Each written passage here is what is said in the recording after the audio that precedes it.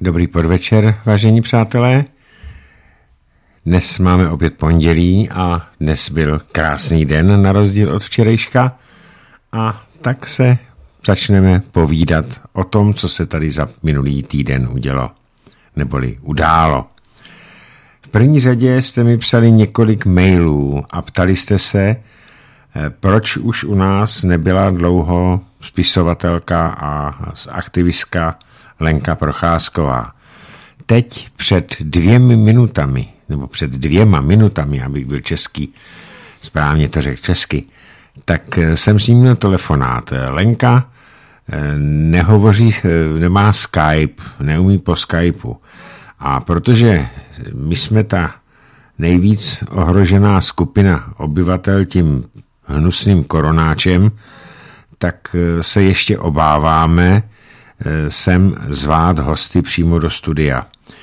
Ale mám pro vás dobrou zprávu, pro vás, pro všechny, kteří máte Lenku Procházkovou za její statečnost a postoje rádi. Domluvili jsme se, že v příští týden v pondělí od 19 hodin udělám s Lenkou Procházkovou společně s docentem Radimem Valenčíkem eh, společný pořad. Takže příští týden od 19 hodin v pondělí se můžete těšit nejenom na Lenku Procházkovou, ale zároveň i na názory docenta Radima Valenčíka. Bude to takový pořad ve třech.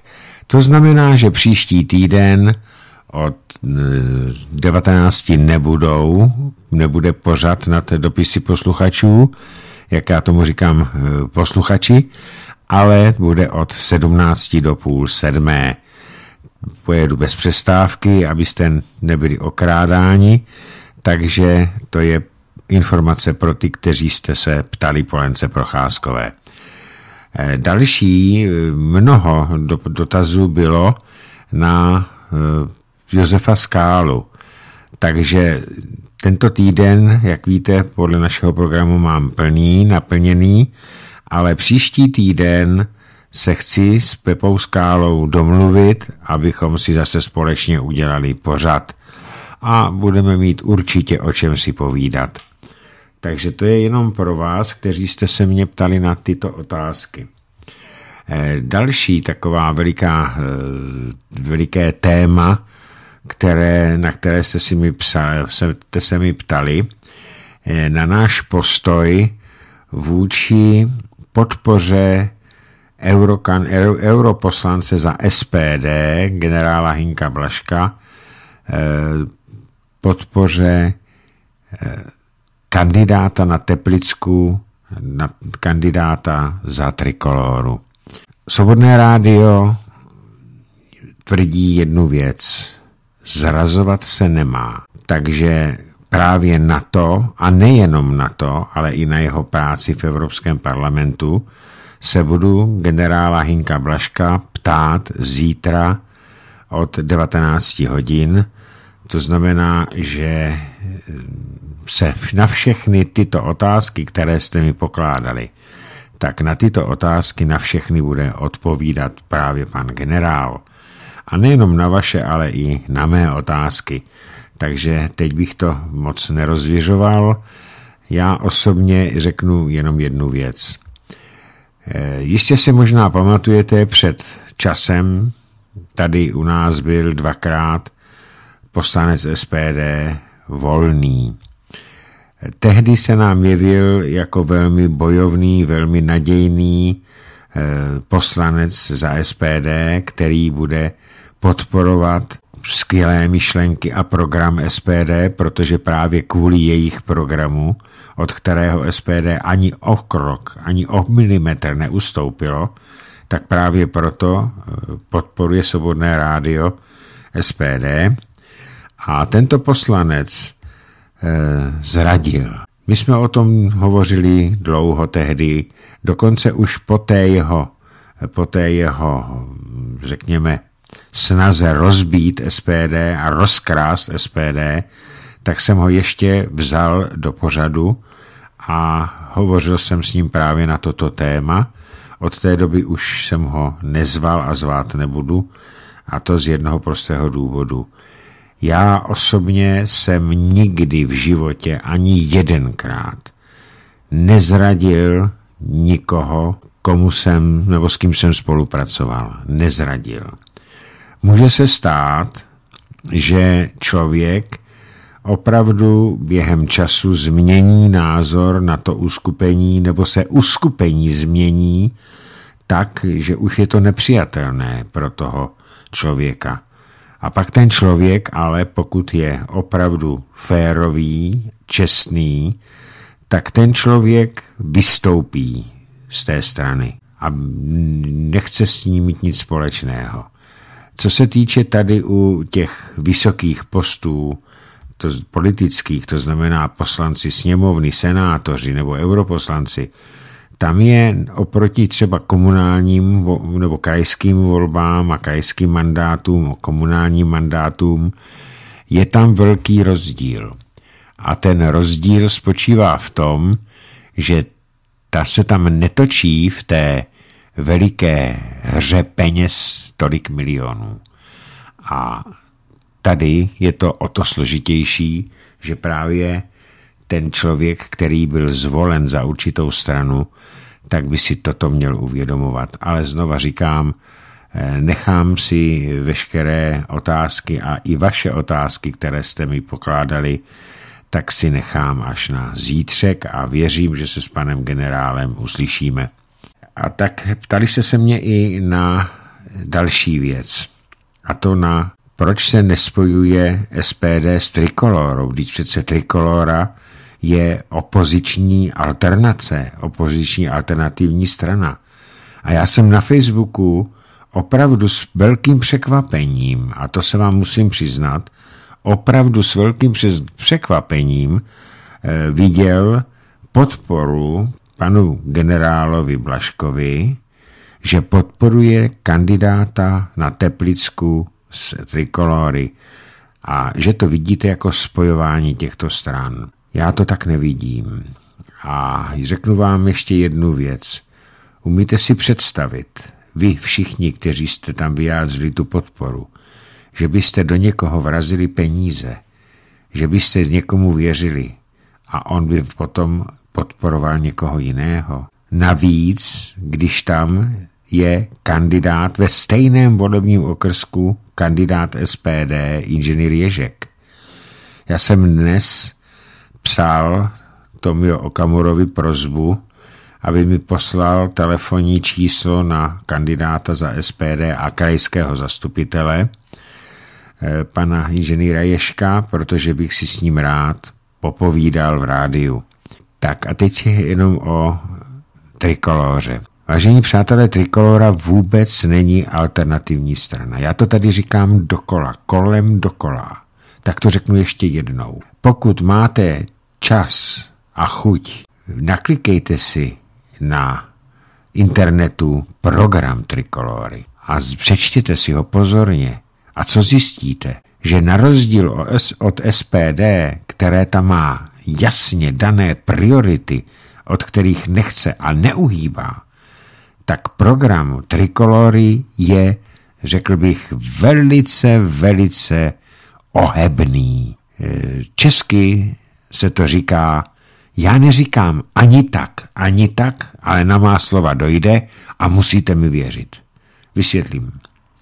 Tak například o panu Václavu Klauzovi je známo, že se veřejně postavil proti proti zvyšování důchodů. Postavil se proti minimální mzdě uzákoněné s odůvodněním, že to, že to poškozuje obchodní vztahy, obchod, ekonomiku. Co tím chtěl říci?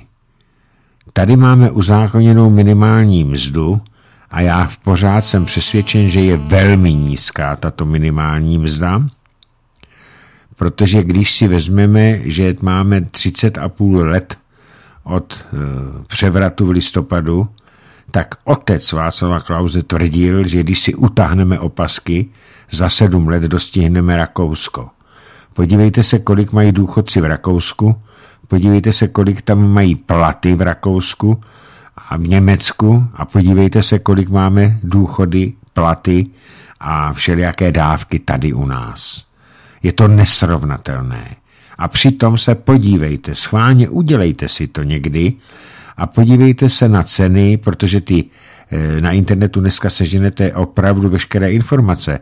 Srovnejte si ceny, které vidíte u nás v řetězcích, konkrétně v německých řetězcích, třeba v Kauflandu nebo Lidlu, s těmi eh, cenami, které mají v těchto dvou řetězcích v Německu. A zjistíte z přepočtu při stávajícím kurzu eura vůči koruně, tak zjistíte, že tam jsou mnohdy nižší ceny za stejné zboží, nežli u nás. To znamená, že my, ač máme třetinové, možná čtvrtinové platy a důchody ještě menší, platíme mnoha komoditách, mnoha zboží větší ceny než v Německu. A to nehovořím o kvalitě.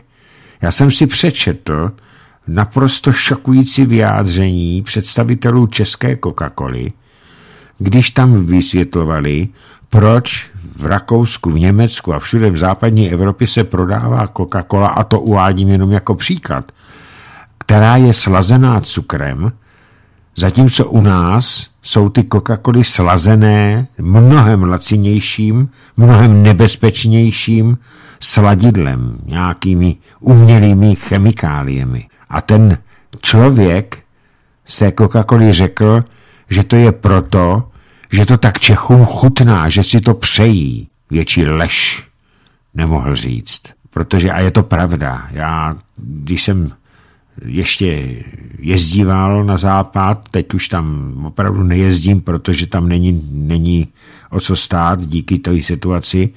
A dal jsem si tam někde k večeři, když jsme se zastavili, někde k večeři jsem si dal Coca-Colu a srovnal jsem ji s tou Coca-Colou tady u nás, tak je to nesrovnatelné. Takže i toto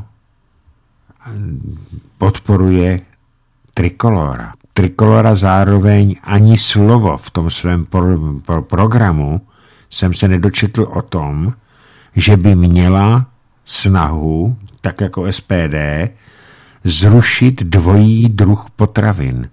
To znamená lepší kvalitu potravin na západě u stejných řetězců a horší, mnohem horší odpad u nás. Podívejte se jenom na, není tam ani slovo v tom programu, na potravinové soběstačnosti, protože přeci všechno vy, vy, vyrovná neviditelná ruka trhu. A další věci tam jsou.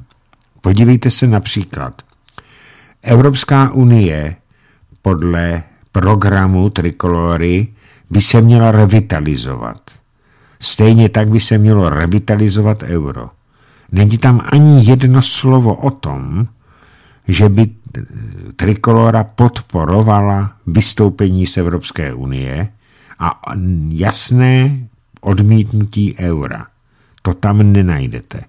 Na druhou stranu jsem četl vyjádření Václava Klauze mladšího, někde na nějakém jeho rozhovoru, že si v současné době nedokáže představit, že by Česká republika nebyla součástí Evropské unie. Další věc.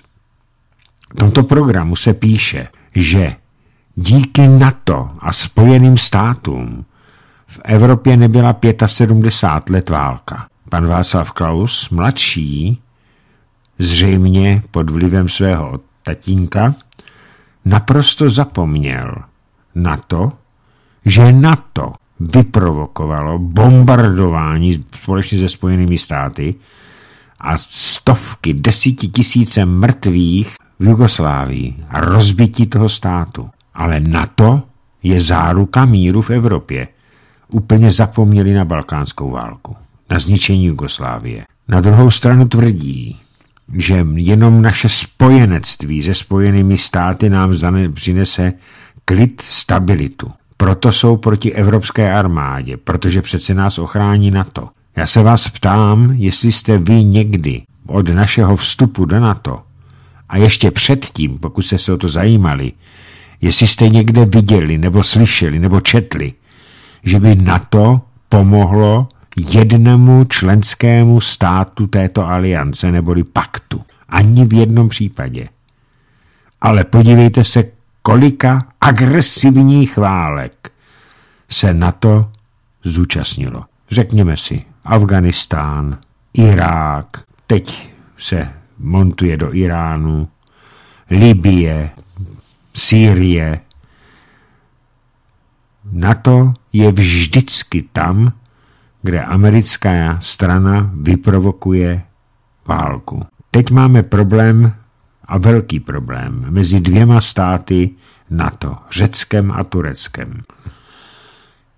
V prvním článku smlouvy eh, o Severoatlantické obrané alianci, což je v překladu na to, tak v prvním článku se hovoří o tom, že na to bude veškeré situace vedoucí k válce v prvé řadě řešit diplomaticky na, s oběma stranami. Zeptám se vás, kdy jste četli i v našem mainstreamu jeden jediný článek o tom, že by generální sekretář Jens Stoltenberg na to, nebo vrchní velitel na to, že by si domluvil schůzku s řeckou a hlavně tureckou stranou a kde by se snažili tu tureckou agresi mírnit.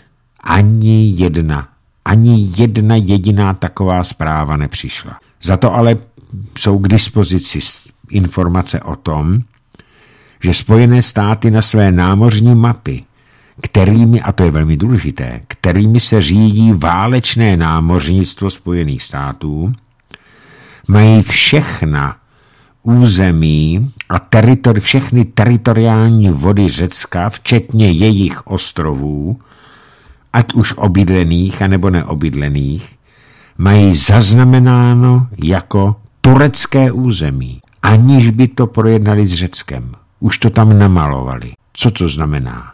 Že americké válečné lodi do těchto teritoriálních řeckých vod mohou kdykoliv plouvat, protože proti tomu samozřejmě Erdogan nebude protestovat.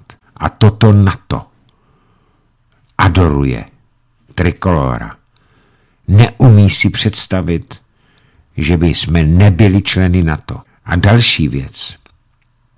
Zásadně odmítá pan Václav Klaus mladší, stejně jako jeho otec, zásadně odmítá přímou volbu prezidenta a v případě, kdyby bylo hlasování ve sněmovně, tak Václav Klaus bude hlasovat proti vým přímé volbě a pro změnu zákona a ústavy, aby znovu prezidenta volil parlament, tedy sněmovna a senát. A další věc. Zásadně je trikolora proti referendu, proti lidovému hlasování, tedy proti vůli národa. V ten, tomto jejich programu není jediné slovo o nebezpečí islamizace nejenom Evropy, ale ani České republiky. Ani jediné slovo. A tak se ptám, těm, kteří podporují a myslí si, že by se mohla nebo měla spojit trikolora s SPD. Co mají tyto dvě, tyto dva subjekty, co mají spojit společného? Jednu jedinou věc. Oba dva subjekty tvrdí, že vláda, ano, ČSSD s podporou komunistů této zemi škodí. To je jeden jediný bod, na kterém se obě tyto strany shodnou. Jinak je trikolora přesným obrazem toho, co hlásávala kdysi ODS, když ji založil Václav Klaus starší. A kam to vedlo? Rozkradlo se tady při té jeho privatizaci 2 až 3 biliony korun spolu s tehdejším vlastizráným prezidentem Havlem se nám stalo to, že nám nic nepatří. Nepatří nám pomalu už ani voda. Nepatří nám přírodní bohatství, nepatří nám nic. Toto vše bude podporovat trikolora. Takže lidé, kteří podporou generála Blaška, poslanci, teda kandidátu na senátora v Teplickém okrese, nebo v Teplickém volebním okrsku, vyjadřují souhlas, tak se hrubě mílí. Hrubě se mílí. Protože uvědomte si ještě jednu věc. Pokud Trikolora za rok a půl uspěje ve sněmovních volbách a bude mít, dejme tomu 10%, tak se okamžitě spojí s ANO na místo ČSSD, které doufám, že tam nepodá, ne, nedostane, a budou doufat, že ANO drtivě vyhraje že, a že jim budou stačit jenom ta dvou koalice, protože se nepočítá, že by mohl být ani KSČM jako velkým hráčem v příštích parlamentních volbách, pokud by se dostali do sněmovny. Musíte si uvědomit jednu věc. Všechna rétorika, která tady zaznívá proti, ze strany Trikolory proti Andreji Babišovi a ano, a této vládě, je jenom účelová, aby nalákal voliče. Stejně tak trik bylo to jeho prohlášení, že chce, abychom přijali sněmovna usnesení, že odstupujeme od Lisabonské smlouvy. Od Lisabonské smlouvy nelze ustoupit. To je to samé, jako kdyby někdo navrhl ve sněmovně, že odstupuje od ústavy České republiky, protože se mu nelíbí. To zkrátka nejde. Takže oni jenom tímto trikem chtěli přesvědčit a bohužel přesvědčili velké množství lidí, že jsou proti Evropské unii. Není tomu tak, prosím vás. Václav Klaus mladší prohlásil, že si nedokáže představit neexistenci našeho členství v Evropské unii. A jako jeho otec předtím proti Evropské unii dost tvrdě hovořil, tak dnes si poslechněte už ty jeho názory. Už otáčí taky. Má to jenom dva důvody.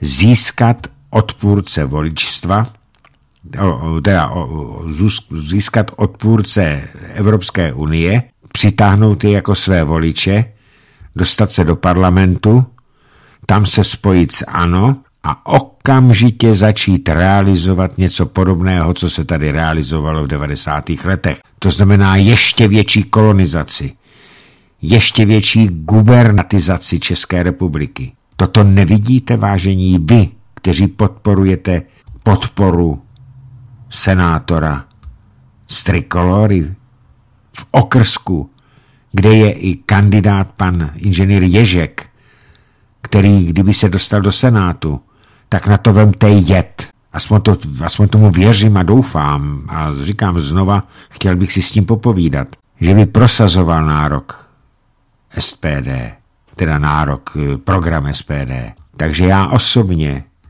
podporu kandidáta do Senátu za trikoloru členem SPD a europoslancem SPD považují za nepřípustné. Ale znova říkám, zítra si o tom budu s panem generálem povídat a budu se ho ptát i na jeho práci v Evropském parlamentu. Tak to by bylo to, co jsem vám chtěl říci. A teď jenom ještě, eh, že můžete telefonovat, mám to zapnuté, jestli to bude fungovat, tak no, mělo by to fungovat. A nebo můžete eh, psát SMSky na telefon 731 720 756, protože tento pořad je pro vás.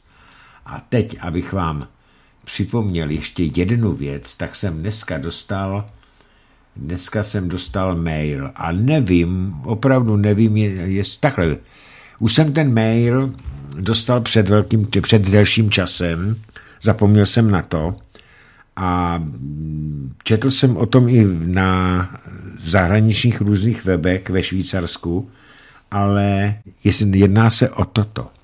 Já ho přečtu. Václav Klaus je majitelem PPF Group a má majetek 10,5 miliard amerických dolarů. A tato svoloč, je tady napsáno, nám vládla a dávala rozumy.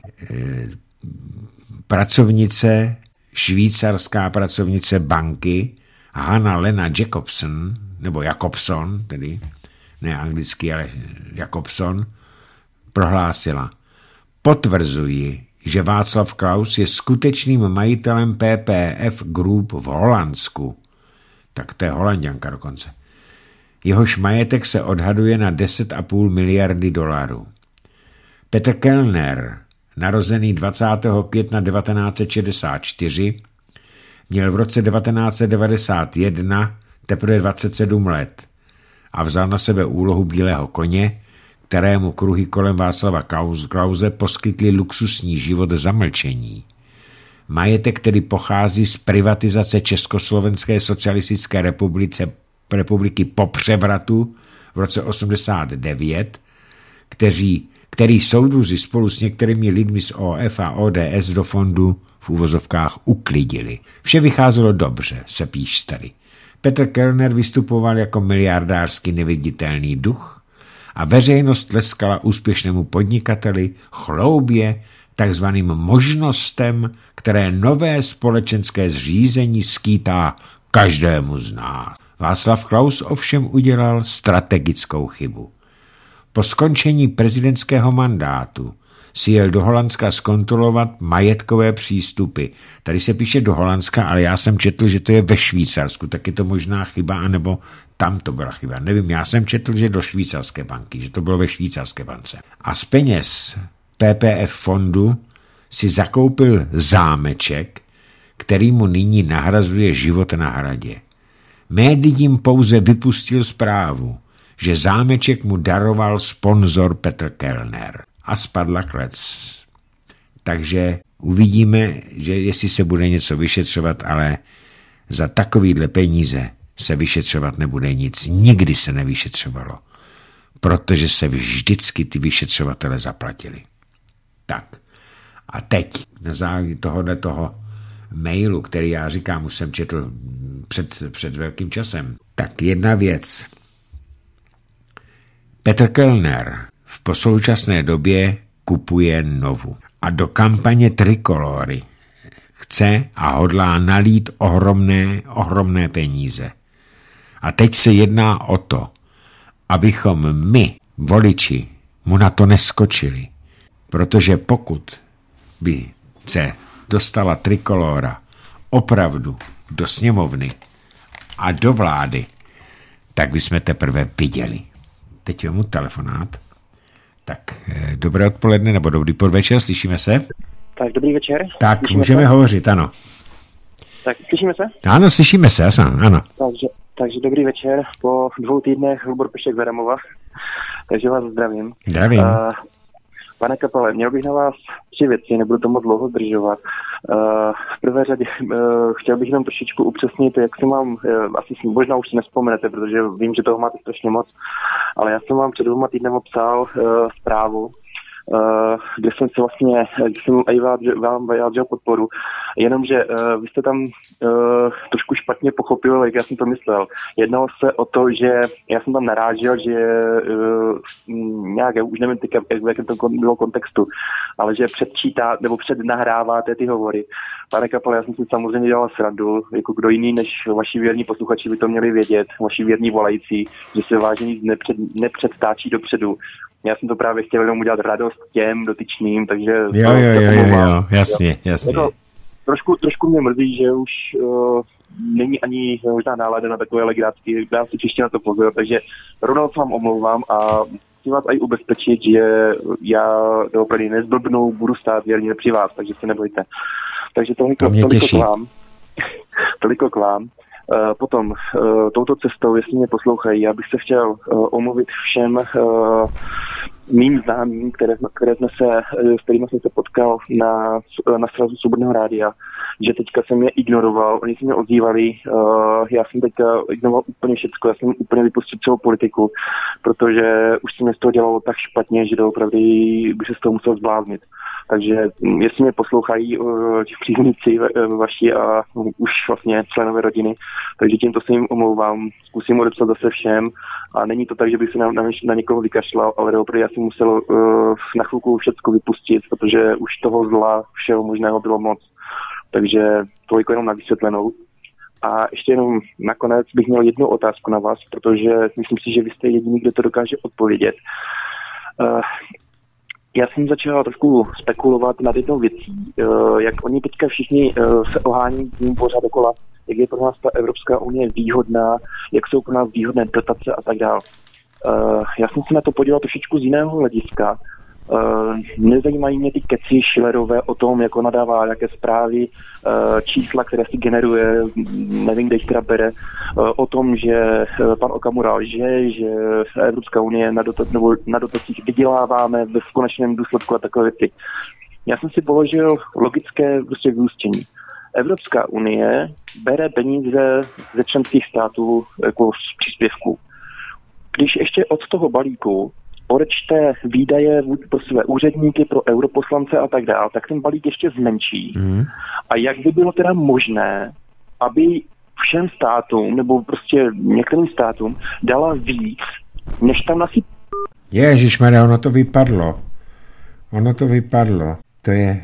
Takže já bych poprosil, jestli nás, pane Hlubore, posloucháte v rádiu, zavolejte znova, protože ono nám to tady vypadlo tak eh, jestli nás slyšíte, tak k tomu eh, máte pravdu. Evropská unie má peníze pouze ty, které vybere z příspěvku členských států. A protože má ohromný aparát a ohromný... Tak já teď to vím ještě jednou. Tak eh, on, ono to vypadlo. Jo, jo, jo, doufám, že jste mě netípnul. Ne, ne, ne, vypadlo nám to. Jasně, může se stát. Uh, tak jenom, jenom jsem chtěl ještě dopovědět, že teda uh, v tom kontextu, jak uh, je teda možné, že, ty, uh, že bychom dostali víc, než když se tam do té Evropské unie nasype, že to nedává smysl. A tak jenom chci vědět, jestli můžu teda používat proti těm rádoby ekonomům tady tento argument, anebo jestli víte o něčem, že by Evropská unie ještě disponovala nějakým jiným ziskem, že by ještě měla nějaké jiné příjmy. Já totiž o ničem nevím, nikdy jsem nic takového neslyšel. A potom mě to ale nedává smysl. Eh, pane žádný stát, ani uskupení států, jakým je Evropská unie, nemá žádné vlastní peníze, které by generovala vlastním činností. Vždycky to jsou jenom peníze vyrvané z kapes daňových poplatníků, ať už státních nebo e, evropských. Eh, k tomu můžete ještě říct jednu věc. Evropská unie dělá vždycky prognózy na 7 až 11 let. A když vezmeme to průměr 9 let, tak my za to dostaneme eh, asi tisíc miliard eh, peněz jako za tu dobu, ale na našich poplatcích zaplatíme přes 2000, to znamená miliard. To znamená, to tady mluvil potom Eh, o tom pan ekonom Karel Janko. To znamená, že my dostaneme zhruba 50% peněz, eh, které do té Evropské unie nadspeme. Nesmíme počítat jenom to, co, čeho se chytá vláda, a to, že tady tam platíme 1% HDP. Ona to není pravda. My tam platíme další a další poplatky, o kterých se nemluví. A ta čísla hovoří jasně. A navíc od eh, roku 21, nejpozději 22, se počítá s tím, že Česká republika bude čistý plátce. To znamená, že nebudeme dostávat žádné dotace, ale jenom budeme muset platit eh, to zvýšené, eh, oni teďka to chtějí zvýšit na 1,3 až 1,5 a dokonce už uvažují někteří ekonomové, někteří ekonomové z Evropské komise Evropské unie, že by měly státy nahradit výpadek Velké Británie, že by měli platit 2% HDP. Pro nic za nic do Evropské unie. Evropská unie nám nic dobrého nedala a nedá. Jo, jako já tady s tímto naprosto souhlasím. Já si právě snažím hledat tady ta, tady ta fakta. A já jsem se chtěl teda přesvědčit o tom, jestli náhodou říkám lež, nebo jestli teda... Ne, ne, ne, já jsem to měl někde... Má zlatý důl. Já jsem to, má z toho zlatý důl. Já jsem to někde měl, já to teďka tady hledám, ale říkám, já v tom strašném spoustu těch SMSek, eh, těch mailů, eh, nemůžu teďka najít, kde to jsem to tady měl eh, přesně vyčíslené, že nás že z nás mají, proto nás tam vlastně chtěli, proto tam chtějí každého, protože z nich mají peníze, o nic jiného nejde, mají se z nich dobře.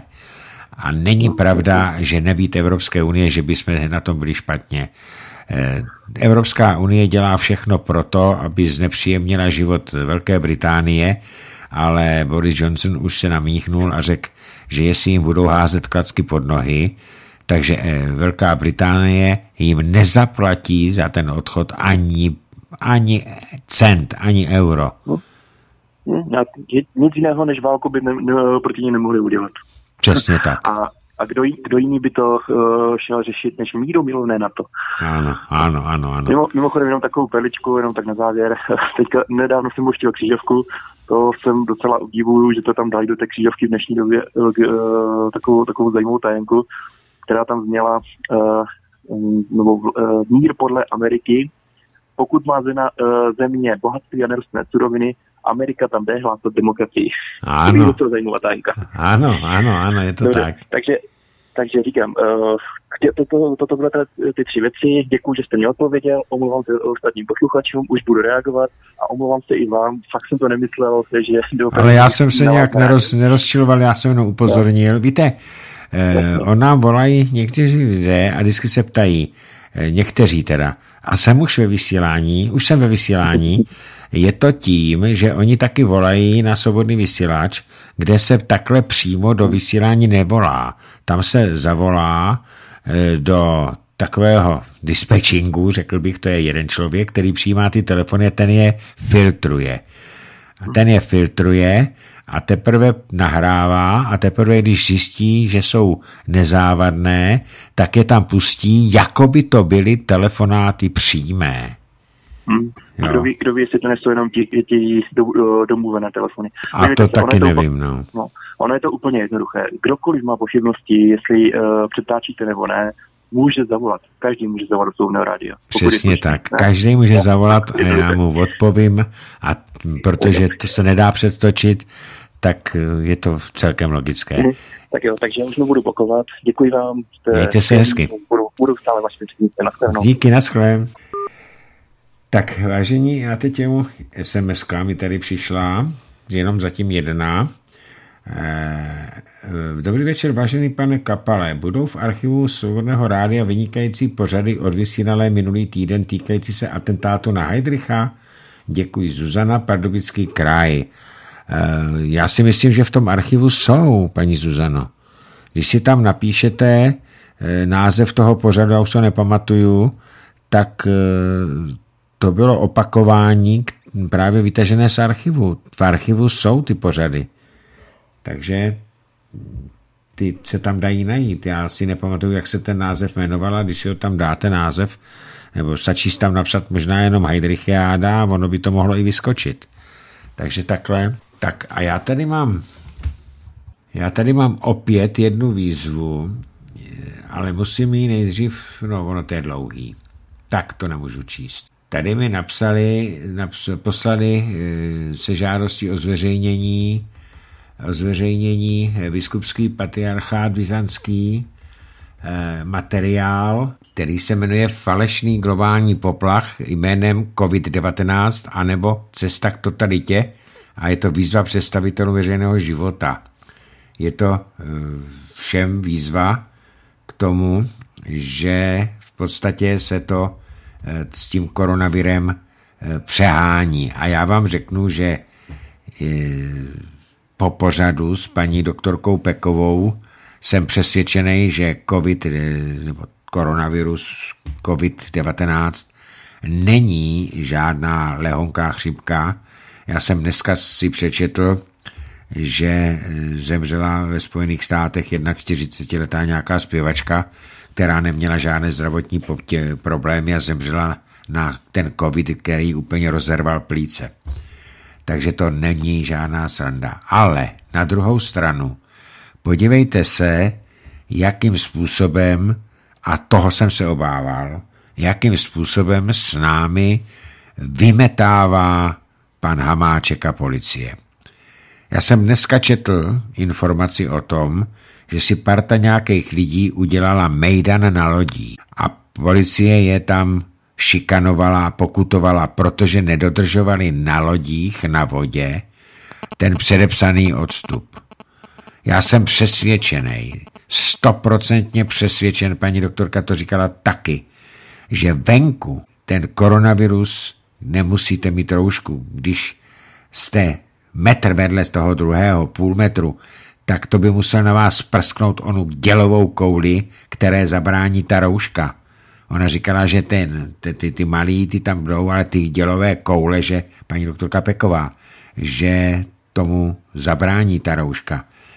Ale tohle to přesně, tady se to rozvolňuje. Dokonce už jsem viděl i politiky, kteří nechodí v rouškách. Ale buzerovat lidi za to, že na lodičkách nedodržují odstup, je podle mého názoru nic jiného než buzerace. A neslyšel jsem jednu jedinou informaci od ministerstva vnitra Hamáčka o tom, že by policie dostala příkaz, aby ty pravomoci, které jí byly dávány v nouzovém stavu, aby je zrušili. Neslyšel jsem to a obávám se, že tady zůstanou pořád. A to je to, z čeho jsem měl největší strach. To je to, proč jsem říkal, že koronaviru využili ty globalisti a Hamáček je globalista, protože eh, je členem Aspen Institutu, to je jak když je vyšitej, tak toho využili, aby mohli zotročit ten národ, a nejenom náš, ale na celém světě, a za prvé a za druhé jako příčinu rozeběhnutí té ekonomické krize, protože tam je důvod, aby schudl svět. Takže to, je, to jsou hlavní důvody, proč, proč vůbec eh, ten koronavirus takhle prodlužují ten výjimečný stav. Jenom aby nás mohli ovládat a buzerovat a zašlapat do země. Ztrácíme jednu svobodu za druhou. Tak teď je mu telefon. Dobrý večer. Dobrý večer, pane Kapal. Standa z České Budějovice.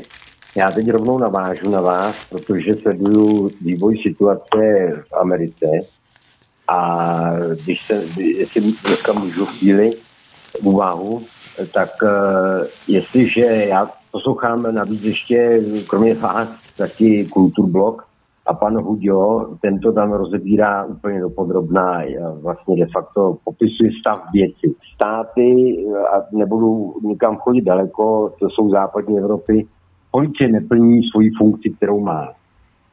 A v té Americe se to ukázalo jako prostě v nahotě totální.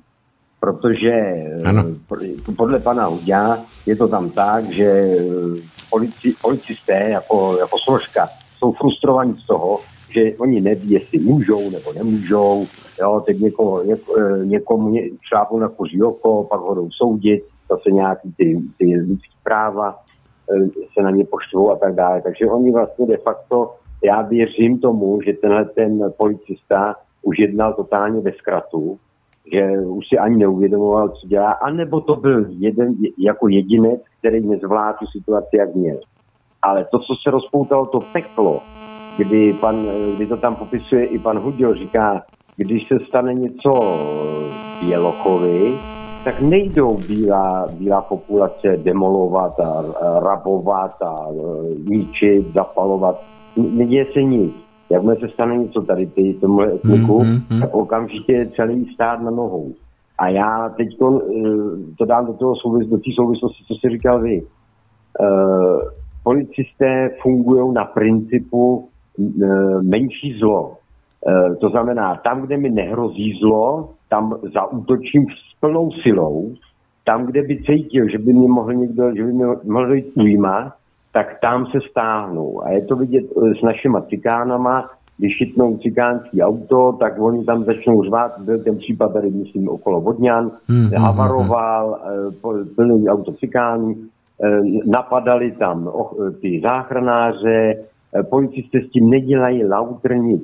To znamená, že my se blížíme do doby, kdy, já to si myslím, já to nechci, aby to bylo, ale kdy tady zavládne normální anarchie protože uh, už jsou z toho zoufalí, jak policie nečiní, když má. A my jsme spolu byli na, na té evropské, když, byla, když tam byl Ortel na náměstí v Praze, na Václavským, tak jsme se tam potkali. A ten bordel, co tam dělali ty kreténi, těch pár kreténů a ty policajti nebyli schopni je během pěti minut spacifikovat a otáhnout do hajzlu. Trvalo to tam hodinu, než vůbec dobro, dobrovolně oni odešli. Takže to je neštěstí pro celý de facto dneska svět. Eh, já jsem viděl, jenom doplním, já jsem dneska viděl eh, na eh, YouTube video, jak to vypadá v Minneapolis.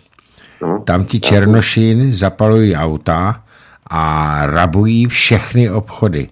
Já jsem viděl, tam na tom videu bylo vidět, jak normálně vytloukli, a byli to hmm. jenom černoši.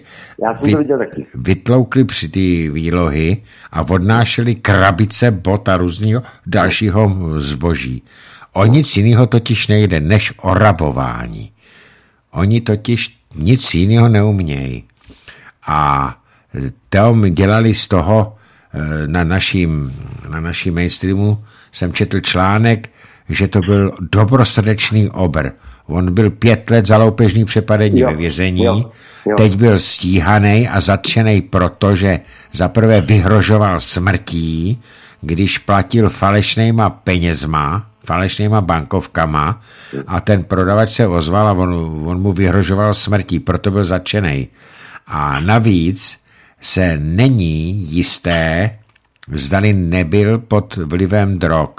Tak já vás na to ubezpečím, že byl pod vlivem drog a zemřel na, na eh, selhání pumpy, jako srdce, ano. Eh, oběhu, ne tím, že...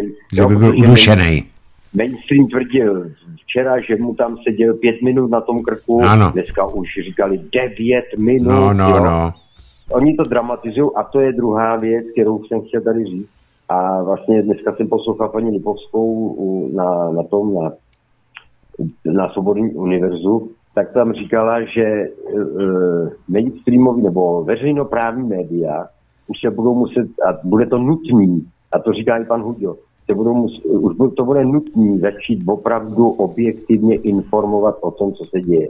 Protože tuhle tu zrůdnost, dokud neporazíme, dokud uh, se nestane něco, aby skončili, tady jsou de facto propagandou, tak uh, se nehnem z místa. Takže to je, to je žába na pramení, ty, ty veřejnoprávní a uh, i, i soukromí, protože ty taky kopou za, za něco, za, nebo ty kopou tak, kdo je platí, ne? Takže to není, není to žádný, jakoby novinařina, to není žádná novinařina, to je výdá utrpení. Eh, já vám řeknu, eh, já vám řeknu jednu věc.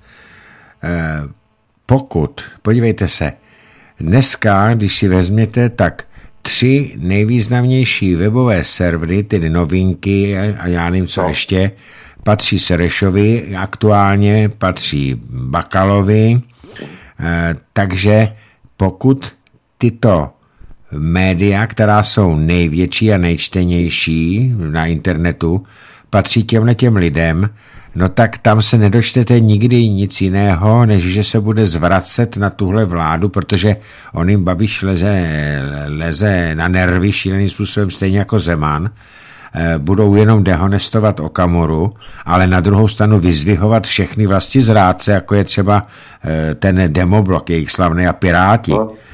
A nebude to jiné, a navíc ještě mají českou televizi, český rozhlas. Nebude to jiné, pokud tady nebudeme mít ve vládě někoho, kdo se nebude bát, tak jako se bál Babiš, když měl velmi velikou šanci tu českou televizi zlikvidovat, tam ten, tu mafii, která v roce 2000, to je 20 let to ovládá mafie, těch, co to tam tenkrát stanovali ty. no, to potom mluví paní Lipovská dneska. Přesně tak. Já jsem to nečet, ale tohle to je jasný. A pokud tady jsme měli možnost, nebo Babiš a ano, dvakrát odmítnout výroční zprávu za rok 2017-2018, tak dneska už tam ten dvořák nebyl, protože by se, muselo, by se to muselo převolit a mohli tam dát někoho solidního. Jenomže to si ani Babiš netroufl, protože ta od, odveta z Evropské unie, především z Berlína, by byla zdrcující. Musíme si uvědomit, hmm. že ho držejí pod krkem německé banky.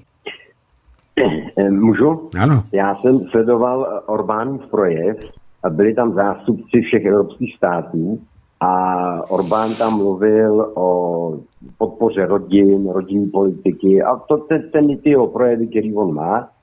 A, já jsem, a byl tam záběr na Babiše a my, já jsem to dneska říkal v práci, jako jsem to nadsázkou, že jak on se díval smutnýma očičkama, tak jsem tak říkal, že on by chtěl taky, kdyby mohl, ale takový premiér je nám na prd, hmm. ne? Když ano. se musí ptát někoho, co může a co nesmí. Krucifix bouchnu do stolu, jako to dělá Orbán, ten by házel všechnu tu chamrať eh, ve svých médiích, eh, ve veřejnoprávní a musí, eh, musí informovat objektivně. Já snesu kritiku, ale nesnesu pololži, polopravdy, anebo neinformuju. Když už nechci lhát, tak nebudu ani informovat. No k čemu mi takovýhle médium je? No, přesně o, tak. O Řecku neřeknou ani půl slova, co se děje, co dělá Turek je jedno. Ano. Když, když udělá něco, teď, ne, teď mě nenapadá ten příklad, tak ho okamžitě ničí, že vlastně, co si to dovolujou, Jo, a tak jeden může, druhý nemůže, kdy to jsme. Je to prostě, ale já jsem, já jsem i o tom mluvil s paní Richterříkovou osobně, tak jsem říkal, mně připadá to, že mezi těma globalistama jsou pravděpodobně dvě kliky. Jedna, která to chtěla jít pomalu a druhá, která chtěla šlápnout na plyn. A de facto tahle ta, co šlápla na plyn, tak teď to dneska zjišťujeme, jak to funguje. Jo, že už to není pozvolná salámovou metodou, ale je to prostě rána rána. Eh, tak ono to je trošku jinak. Eh, tam jsou opravdu ty globalisty dvě, dvě kliky. Na jedné straně jsou bankéři, na druhé straně je ta americká elita, ale světová elita, Clintonovi a podobně. A kdyby se dostala bývala Hillary Clintonová na funkci prezidenta, tak už dneska tady možná nejsme, to už by byla válka s Ruskem. Ale co, co zatím ten nový světový řád, který bojuje proti těm právě těm elitám, tom, těm Wine Dragons, tak ten to měl naplánovaný už dlouho. A teďka jsme se dostávali do konečné fáze a oni zrychlujou. Všechno to hmm. bylo popsané ve Štrasburském memorandum v roce 2014 hmm. a tehdy, když jsem to tady čet v rádiu v roce 2014, tak Eh, mě psali lidi, že jsem blázen, že věřím nějakým konspiračním teoriím. Tam to bylo všechno i s datama popsáno. Tam bylo i to, že budou vznikat ve Spojených státech a v Evropě občanské války, kdy se budou stavět e, ozbrojené složky těch států proti lidem, kteří se budou bránit násilí těchto těch imigrantů a ve Spojených státech těch afroameričanů, jak se říká. Všechno se to naplňuje. Všechno je to, je to živený. Tohle to je všechno v té Americe živený. Amerika, já už se vůbec nedivím, že ty američani si, jakmile vypuknul koronavir, tak že si začali, že skoupili zbraně všechny. Protože věděli, co to bude. A snad si nemyslíte, že tyhle ti černoši, kteří tam drancují ty obchody, takže by nešli na ty baráky. Jenom moc dobře vědí, že by dostali kulku rohlou do, mezi oči, tak tam nejdou na ty baráky. A proto se ty američani ozbrojovali. Hmm. No, tak uh, nelíbí se mi ten stav prostě zkrátka, protože jak, jsme, jak jsem se o tom bavil, tyhle ten, tyhle ta schýza s těma hadrama na hubě, já vám se vám přiznám, já tomu prostě nevěřím, ani těm dělovým koulím nevěřím, protože tak, jak se šíří viry, Eh, tak to je nezabrání nic, než opravdu oblek, maska, dýchání, krv a tak dále, tak bych tomu věřil, ale jestli mě z hadru z prostěradla ochrání. Já jsem to nosil mezi lidma ze Solidarity, jenom proto, abych je ne, nedráždil, mm, protože ano, že já taky. lidí to strašně špatně snáší. Já Ale to, já, jsem, já jsem přesvědčený o tom, Eh, že opravdu, jak ty věci nejsou úplně všichni pitomí, tak eh, já jsem přesvědčený o tom, že opravdu to nějaký účinek mělo, ale to, že teďka pokutujou lidi, když to nemají na lodičkách, to už je nic jiného než policejní zvůle. A zvůle ministerstva vnitra Hamáčka. No jo, no, tak jo, tak vás moc zdravím, pane Kapal, poslouchal jsem pana Vandace, pana Chytru, bylo to perfektní. Já jsem tam nechtěl volat, nechtěl jsem tam zdržovat, protože já když chci říct nějakou rychle, nějakou informaci, tak mi to trvá dlouho. Jasně. Takže mějte se fajn a přeju všechno, pozdravím všechny posluchače Svobodného rádia, taky já. Naschledanou. Mějte se hezky, nashledanou. Tak, vážení přátelé, mám tady už nějaké SMSky, ale já si teď dám eh, čtvrt hodinky přestávku, protože hodinu mluvit je přece jenom eh, vyschne v krku, co si budeme povídat, musím se jít napít. A tak si pustíme nějakou tu muziku, no a ve čtvrt na devět se zase uslyšíme, já se budu tady možná dřív a budu se věnovat vašim SMS-kám a dalším telefonátům. Takže teď si trošičku od té politiky odpočineme. Já se vůbec Luborovi eh, nedivím, Peškovi, že si dal odpočinek, protože ono ten svět, který dneska tady máme, tak on nestojí opravdu za nic. Nikdy takhle špatný svět nebyl ani za té studené války a já jsem docela rád, že už nejsem mladý. Tak a teď si dáme trochu té písniček, té hudby. Jsem zpátky, máme po přestávce, vážení přátelé. Jsem rád, že jste vydrželi i před přestávku a protože jste byli pilní, tak psali jste SMSky, tak se hned dáme do SMSek. V první řadě eh, musím se opravit. Já jsem tady paní, která se ptala eh, na ty pořady o Heidrichovi, tak to jsou převzaté pořady. A převzaté pořady my do archivu nedáváme. Takže bohužel jsem se mýlil, to jsem se dověděl teď o přestávce, takže ty pořady eh, tam nejsou a to se týká i toho pořadu o atentátu na Heidricha. Tak já vím, že jsem paní zklamal, nicméně takhle to je nastavené. Tak mám tady další SMS-ku. Eh, Dobrý večer, pane Kapale. Kdy zase uslyšíme skvělého vlastence pana Skálu, děkuji Pavel Turnov. Pane Pavle Sturnova, počítám s tím, že příští týden eh, pana Skálu uslyšíte, pokud bude mít čas a on tady u nás, jak jste slyšeli v posledním pořadu, vystupuje rád. Je tady eh, opravdu veliký přetlak eh, lidí, kteří by tady chtěli vystoupit. Já ve středu vystupuje příští týden, myslím, Tomio Okamura. Chtěl bych pozvat i další poslankyni eh, SPD paní Terezu Hydhovou. Eh, chtěl bych eh, pozvat i kandidáta na senátora v Teplickém okresu pana inženýra Ješka. Už jsem na něj dostal spojení, takže opravdu ten přetlak tady je veliký. Chtěl bych tady mít zase politologa, skvělého politologa Oskara Krejčího a, a další. Takže, ale Pepu Skálu bych příští týden tady chtěl mít. Ozýval se mi už Ivan Kratochvíl, tak toho taky.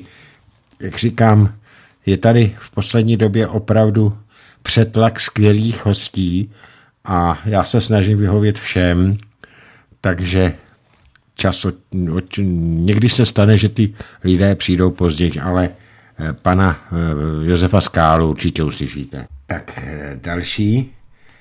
Dobrý večer. Odstoupení od Lisabonské slovy není nesmysl, protože Maďaři od ní odstoupili, ale chce to mít politika jako je Orbán a ne ty posely, co máme my, zdraví Kamil. Maďaři, ano, máte pravdu, oni si odsouhlasili a četl jste, pane Kamile, vyjádření Evropské komise? na to, že Maďaři eh, odstoupili formálně od Lisabonské smlouvy.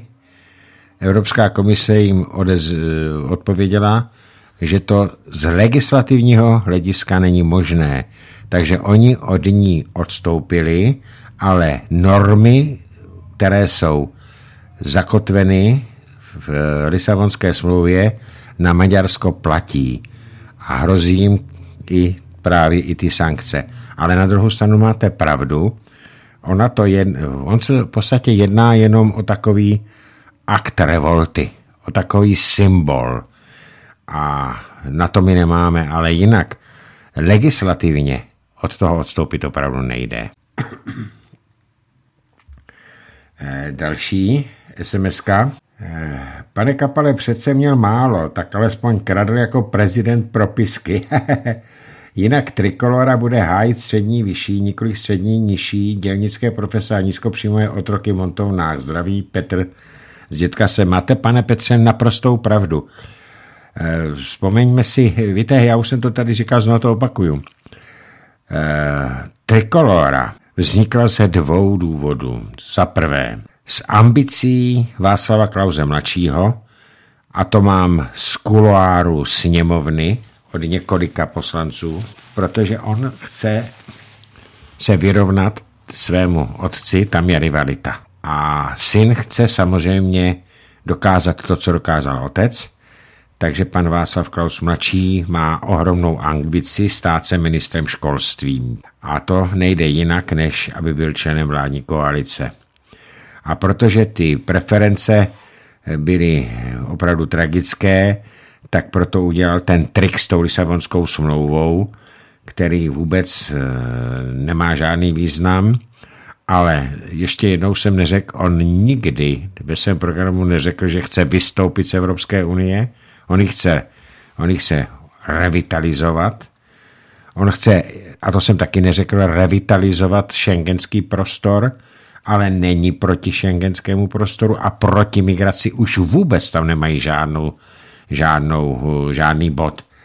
Takže máte naprostou pravdu, je to reinkarnace ODS eh, z 90. let a protože máme už vykradenou republiku eh, snad do mrtě, tak pan Václav Klaus mladší by chtěl tu republiku za pomoci tatínka vykrádat i do budoucna. To znamená, že by vykrádal budoucnost našich dětí a vnuků. A ještě tam je jedna, jeden důvod vzniku trikolory, eh, protože Václav Klaus starší je na tom fyzicky velmi dobře, tak má ambice znovu kandidovat na prezidenta republiky, až skončí Miloši Zemanovi mandát. A já už jsem to tady říkal a řeknu to ještě jednou, pokud by nebyl mezi kandidáty té dvojici, protože nepočítám, že, že by někdo vyhrál v prvním kole rovnou, pokud by tam nebyl vlastenecký kandidát, tak nepůjdu k volbám. Protože volit menší zlo, například Václava Klauze, tak to je sebevražedné. Já totiž nechci, aby zase dával amnestii svým zlodějským kamarádíčkům a nepřeju si pana Klauze už na prezidentském postu. Takže tady se jedná o to, aby ti vlastenci byli schopni dát podat kandidáta, který by opravdu u něj byla, byl předpoklad, že budou vlasteneští a že nezradí. Bohužel, musím říct si bohužel, k mému velkému zklamání takový kandidát tady zatím není. Já jsem měl jeden typ kandidáta, ten mě zklamal a nevěřím, takže takový kandidát tady opravdu není. Máme ještě do prezidentských voleb dost času. Já doufám, že se někdo objeví, opravdový vlastenec, člověk, který nebude zrazovat to, co sliboval a ten, že by mohl být volitelný. Takže asi takhle. A ještě k tomu, co říká Petr z Dětkasu. Eh, ano, vůbec on tvrdí, pan Václav Klaus mladší i starší, že sociální stát není záhodný, protože každý má přeci možnost se vyšvihnout a mít se dobře. A ti, kdo to nedokážou, tak jsou, je to jenom jejich vina. To je klasický kapitalistický přístup 19. století. A kdybychom si vzali potaz, a někdy si o tom můžeme s nějakým politologem udělat pořad, jaký je sociální eh, přístup třeba v Německu, no tak ti naši, eh, ti naši pravdoláskaři by říkali, že tam mají socialismus, protože to si ani nedovedu představit. Tam třeba například je velký problém v Německu propustit zaměstnance, protože tam jsou silné odbory. Ale říkám, to bych chtělo s nějakým politikem, který zná německé poměry. Pro mě je trikolora jenom a jenom výtah k moci Václava Klauze mladšího. A věřte tomu, dneska máme prvního, eh, je Mezinárodní den dětí, 1. června, jestli se nepletu, a je 20 hodin 24 minut. Vzpomeňte si na mě, že pokud se dostane trikolora do sněmovny, tak okamžitě začne jednání, koaliční jednání s Andrejem Babišem. Okamžitě. Dám na to krk. Tak, tu mám telefon. Dobrý večer. Dobrý večer. Zdravím, Pepo. Pepa ze severu, zdravím posluchače Svobodného rádia. Uh, já jenom v té trikoloře tam na začátku tam se mi prostě mluvil úplně z duše. Jo. Je, to, je to tak a mě hrozně vadí i na Václavu Kauzovi e, mladšímu ta jeho nadutá arogance. On je prostě hrozně arrogantní. E, šlo to vidět i v pořadu tenkrát u toho Soukupa, jak tam Tomia napadal, napadá ho i ve sněmovně. Jo, je, je prostě ta trikolora e, není dobrá volba. No. A jsem zvědavý, co k tomu bude zítra říkat pan generál Blaško, protože já taky. já jako SPďák, která s tím nesouhlasím zásadně. Ano. Jeho podporou. Já a... SPďák nejsem, já jsem nezávislý, ale jsem eh, příznivec eh, programu vůbec SPD, jsme mediálními partnery a taky s tím nesouhlasím. Tak a ještě jsem chtěl k té radě se vrátit trošku hmm. televizní, eh, že tam teď vlastně ze strany Pirátů tam napráskal nějaký ten jejich europoslanec a on se tam vlastně z jeho zprávy vyšlo najevo, že, je, že to podal k, regula, k regulačnímu úřadu audiovizuální e, média, jako jo, nebo úřadu. Takže ano. tam prostě mají Evrop, Evropské unii nějaký regulační úřad, jo, který právě dodává ty notičky do všech těch médiích v Evropské unii. Je to pravda, já vás potvrdím, to jenom to, že máme tady Radu Českého rozhlasu, tam je třeba Vítězslav Jandák například, který teď zase by chtěl, převlíknul kabát už po několikáté a chtěl by kandidovat do Senátu za ANO. A eh, pak máme Radu České televize, o které je teďka řeč, a nad nimi je Rada pro televizní a rozhlasové vysílání, to je ta velká rada. A tam se prořekl jeden z těch radních před časem a bylo to zveřejněno na otázku české televize, proč je taková propagandistická, tak on se tam dostal do úzkých a vylítl z něj, protože musí dělat to, co má nařízeno z Bruselu. Tak to je naprosto potvrzení toho, co říkáte, vy je to pravda. Česká televize je jenom hlásná trouba Bruselu. Tak a vidíme hlavně i na Pirátech, co jsou zač. Jo. No ano, Piráti, to je, to je, ty se odkopávají, ty. Víte, teď jsme nedávno uh, vzpomínali, uh, Pepo, jsme nedávno vzpomínali uh, 27. Heidrichiády. A oni tady chtějí, ohývají tu historii a tvrdí, že jsme byli práskačský národ. Já jsem si to sledoval v materiálech, protože mám rád historii, a zjistil jsem, že Češi vůbec nebyli nejvíc udávajícím národem za druhé světové války, ale naopak byli jsme národem, který udával poměrně málo. Mnohem víc udávali francouzi, holanděni, dáni a belgičani. A úplně nejvíc tam udávali holanděni. Takže e, ty piráti dělají jenom to, co dělali největší udavačské svině za druhé světové války, když udávali německému gestapu. Tak to jste mě touhle zprávou uh, ne překvapil, ale potěšil, že jsme nebyli největší právka. Ne, nebyli. to je pro mě dobrá zpráva a přeju vám hodně zdravíčka a chci poděkovat zase za krásné povídání. Zdravím zase posluchače Svobodného rádia a držme spolu a, a neblbněte s tou trikolorou lidi. Přesně tak, nevěřte jí lidi, nevěřte, máte tak, pravdu. Tak, tak se mějte. Mějte se hezky, naschle. Naschledanou.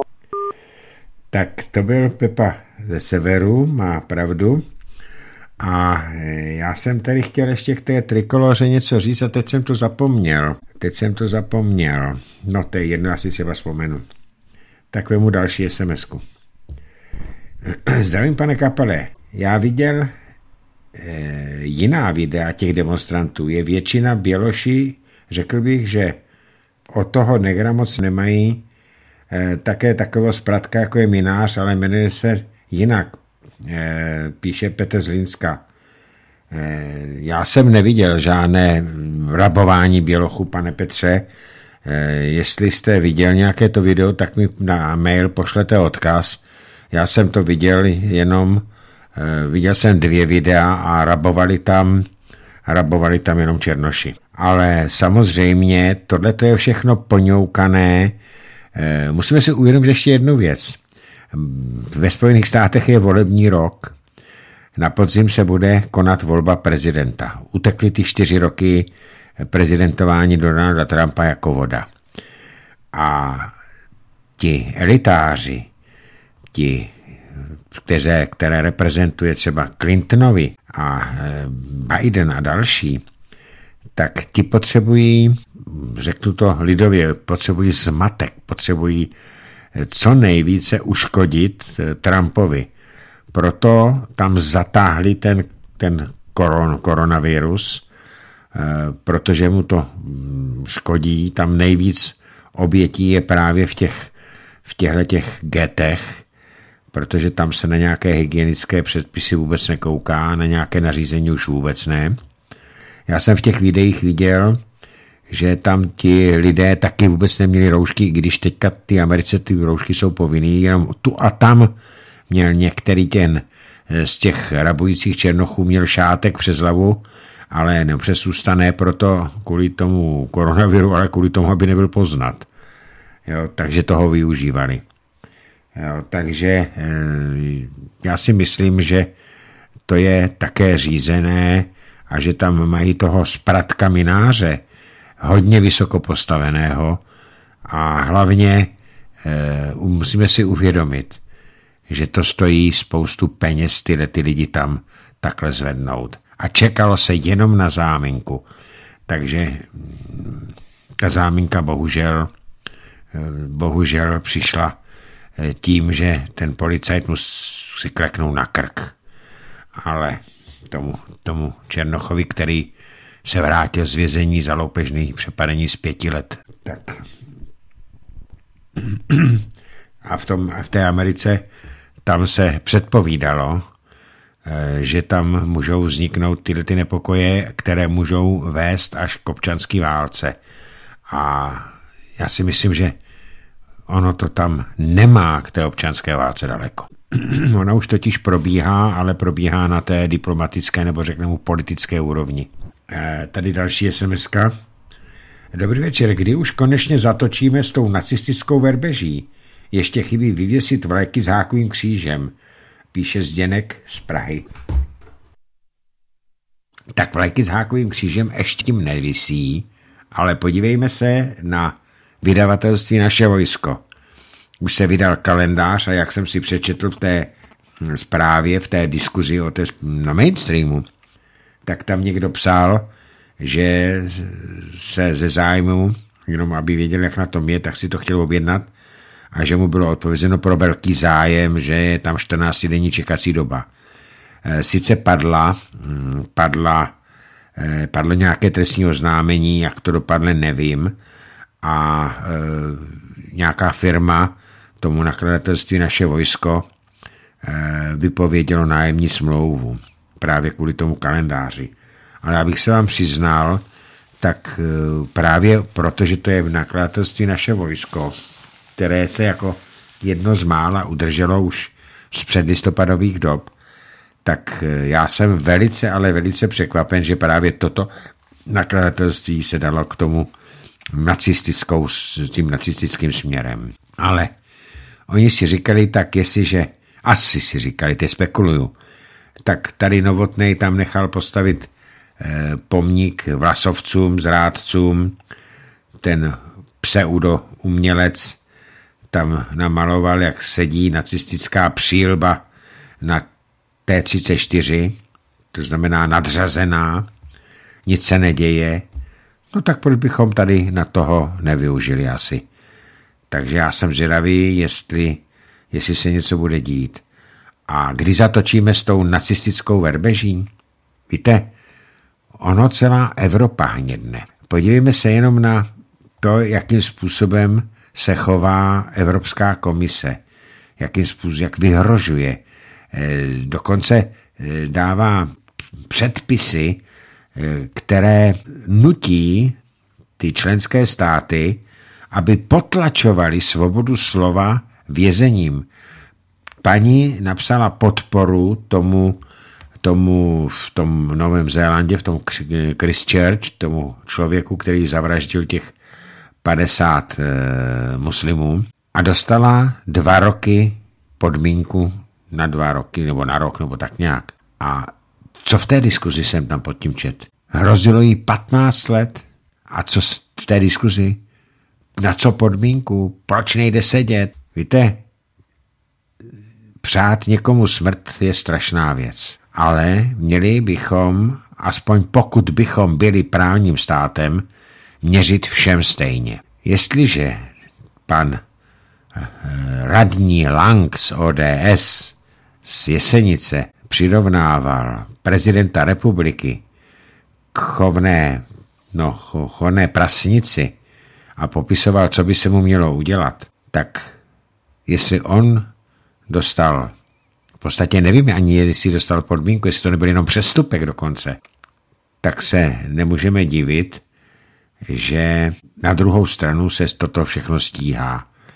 A nevím, jestli je trestní oznámení a předpokládám, že asi bude trestní oznámení na toho praso řeporyského eh, starostu, protože ten vyhrožoval představitel jiného státu oběšením, což je vyhrožování smrtí a za to ta paní dostala podmínku, eh, za toto souhlasení s, s terorismem a tak jsem zvědavý, jestli taky dostane podmínku pan Řeporiec a protože už jednu podmínku myslím, že má, tak by měli sedět na tvrdo. A zase jsme u další věci. Já jsem zažil, jak jeden starosta v minulosti, 8 let zpátky, z vlastní viny pod vlivem alkoholu způsobil dopravní nehodu. Nikdo nebyl zraněn, nikdo nebyl zabit. Způsobil dopravní nehodu pod vlivem alkoholu, eh, dostal za to podmínku a zastupitelstvo toho města, a opakuju, nebylo to město, kde jsem byl zastupitelem dlouhá léta já, tak zastupitelstvo toho města ho odvolalo z funkce starosty právě proto, že je nepřípustné z morálního hlediska, aby v čele města, jakéhokoliv města, nebo pražské části, byl trestně odsouzený člověk. A podívejte se, pan Novotný byl odsouzený, soudem odsouzený a nic se nestalo. Nikdo ho neodvolal. Tak aspoň vidíme, že tady platí zákon jenom pro někoho komu se to zrovna hodí. Všichni ti, kteří by chtěli být vlastenci, budou trestáni a ti, kteří budou škodit naší zemi a budou prosazovat právě ten nacismus a fašismus, jako to dělá Novotný, Hřib a Kolář, tak ty ještě dostanou policejní ochranu. I to je Česká republika v roce 2020. Před 30 lety bych nikdy Nikdy, ani, ani ve snu by mě nenapadlo, že bych se mohl tohoto dožít. A musím říct, že dneska, když čtu ty diskuze na tom Facebooku, tak si říkám, do prčice práce kde všichni ti, kteří byli na těch náměstích, na tom Václaváku, tři čtvrtě milionu lidí na letné, kde ti lidi jsou? Protože tam všichni tvrdí, já jsem necinkal, já jsem to věděl, já jsem necinkal. Já jsem cinkal. Já byl jsem všude, protože jsem věřil a já bláhovec jsem tvrdil mojí mamince, která mě předtím varovala, říkala, že zažila první republiku, kapitalismus a že se budem divit. Já jsem říkal, to není možné, přece takhle špatně se už nikdy nemůžeme mít. Jak vidíte, starší lidé měli pravdu. Moje maminka ji měla taky. Dnes, když jsem ve věku, kdy mi to říkala, tak jí dávám duchu za pravdu. Ale zajímavé je, že na těch diskuzích jsou všichni ti, kteří tam necinkali. A já se ptám, kde tedy jsou, anebo se neumí přiznat. Tak jsme tomu věřili. Věřili jsme, aspoň já jsem věřil, že se to uděle, bude dělat lépe. Že jsme byli podvedeni. No teď to byl taky komplot non plus ultra. Podívejte se tady jenom, jak, jak dokáží zbrbnout lidi, ty někteří politici, kteří to s námi nemyslí dobře, jak dokážou zblbnout voliče. Podívejte se, kolik hlasů dostal eh, v prezidentských volbách eh, Schwarzenberg. Kolik hlasů dostal ten Tajtrlik, ta loutka, Drahoš, který ani neumí diskutovat, musel dostat do ucha na slouchátko. A kolik dostal hlasů? Mnoho, mnoho z těch lidí třeba taky prohlídlo. A stejně tak to bylo s tím cinkáním. Když už jsem se nechal napálit, no tak to řeknu. Já jsem se nechal přesvědčit, že to bude dobré. A první rok jsem dokonce se podílel na to změně. Po roce, konkrétně v roce 91, jsem zjistil, že to byl všechno podvod. No tak jsem ten svůj, to svoje cinkání už tehdy označil za moji hloupost a naivitu. Tak jdeme dál. Pane Kapale, opravdu nechápu, čím Klaus mladší okouzuje. Možná paní Zahradníkovou. Tomie Okamura je náš nejlepší politik. Ano, je nejlepší, píše Marie Skladna. E, tak, já vám řeknu ještě jednu věc.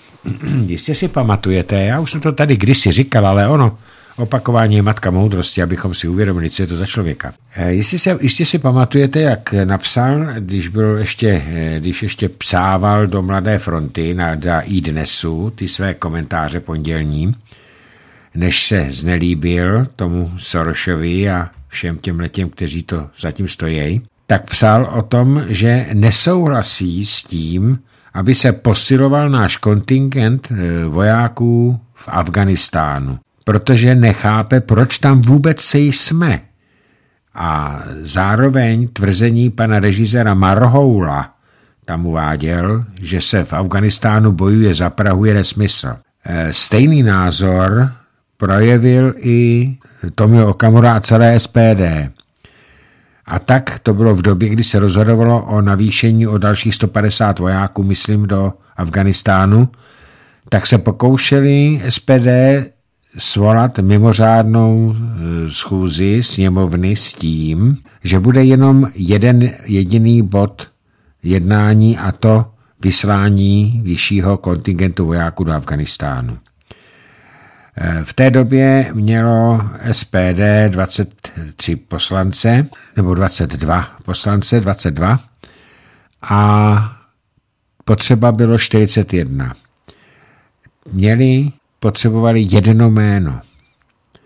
Tak se obrátili právě na základě tohoto dopisu na pana Kváslava Klauze mladšího a on jim řekl, že to nepodepíše, tu žádost, na mimořádné e, zasedání sněmovny, protože to slíbil Černochové, protože jí slíbil, že to nepodepíše. Tak kde to jsme? Na jedné straně tohle píše, ale když se má zachovat jako chlap, který si za svým slovem stojí, no tak to nepodepíše, protože ODS byla proti tomu, to byl ještě členem ODS. Takhle jedná. Václav Klaus mladší, to je čestnost.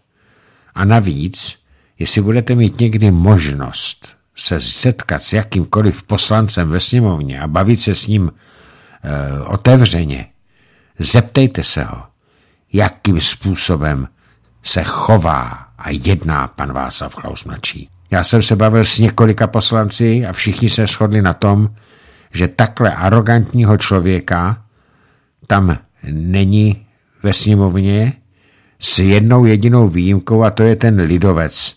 A já teďka nevím, jak se jmenuje takový ten hm, Ježíš, jak on se jmenuje, takový jeden hnusný člověk, to je brejlatej, eh, Bartošek, Bartošek. Takže pan poslanec Bartošek a Václav Klaus mladší jsou nejarrogantnějšími politiky ve sněmovně. Já jsem se taky ptal, jestli Kalousek není horší. A oni říkali, Kalousek, když není u mikrofonu a nejsou tam televize, tak je normální. Oni ne. Takže to je jenom, abychom viděli, kdo to je Václav Klaus mladší. Tak další dotaz. Dobrý večer všem, co takhle kandidát na prezidenta pan Okamura. Děkuji, Emma.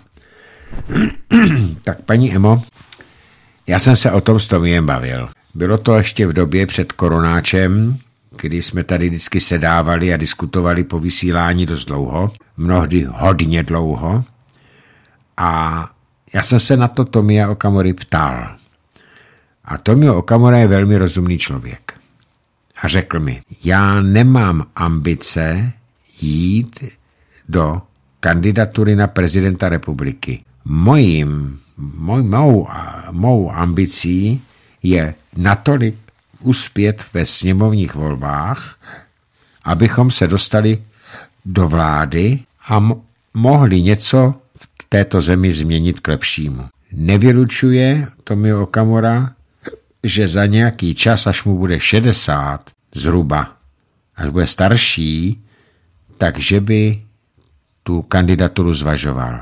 Ale v současné době jí zatím, to mi řekla asi před tři čtvrtě rokem, možná je to půl roku, zatím prý nemá. Může to třeba změnit, ale můžu vám říci, že kdyby kandidoval Tomio Okamura na prezidenta, tak podporu Svobodného rádia a mou osobní, ale i celého Svobodného rádia mít bude. Uvidíme, jak se rozhodne, ale každopádně se vás zeptám ještě na jiné jméno. Na jméno člověka, který by mě osobně se jako prezident velice líbil. Je to člověk vzdělaný, moudrý, znalý světa, znalý několika jazyků. Je to Teď si typněte chvilku. Pan Jiří Kobza. Já si myslím, že kdybychom tam měli takového člověka a je nesmírně loajální, Jiří Kobza si ani bytostně nedokáže představit, že by zradil. Že by zradil to, za co takovou, taková léta bojuje. A že by se kvůli osobnímu prospěchu zaprodal někomu jinému. A prokázal to už v době, protože on byl jeden z těch, kteří byli s Tomiem v úsvitu a odešel, i když mu bylo nabízeno hory i s horákama, tak radši odešel, protože se spronevěřil. Přemýšlejte o tom. Mně by se Jiří Kobza jako prezident líbil. Nevíme, jestli on vůbec by kandidoval. Já jsem se s ním o toho nebavil, to mě teďka napadlo. Tak. Další sms -ka. Zdravím Vladimíre, u nás máme taky práskačou. Benčík, Soltés, Havran, Poláčik, Smatana, Ryb, slovenská smatánka, pekný porad Dan ze Slovenska. Dané, ze Slovenska, já vím, že tam máte taky práskače.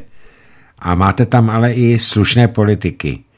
A já teď jsem získal od našeho příznivce a kamaráda, pana Záhoranského, kterého tímto zdravím, na východ Slovenska, který je tak obětavý, že na naše srazy ze Slovenska přijíždí, tak díky němu jsem získal telefonát na e, velmi bojovného poslance Luboše Blahu. A tento týden se s ním budu chtít spojovat a taky bych ho tady měl rád.